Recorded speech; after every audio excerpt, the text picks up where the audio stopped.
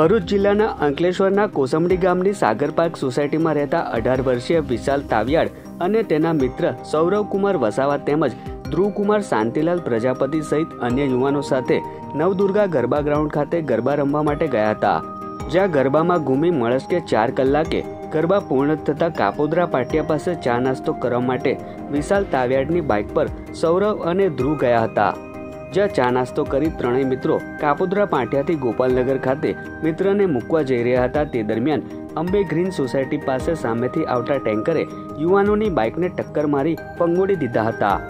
આ અકસ્માતમાં બાઇક સવાર વિશાલ તાવિયાડનું ગંભીર ઈજાના પગલે ઘટના સ્થળે જ કમકમાટી ભર્યું મોત નીપજ્યું હતું. જ્યારે અન્ય મિત્રોને ઈજાઓ પહોંચી હતી. જેઓને સારવાર અર્થે અંકલેશ્વરની જયાબેન મોદી હોસ્પિટલ ખાતે ખસેડવામાં આવ્યા હતા.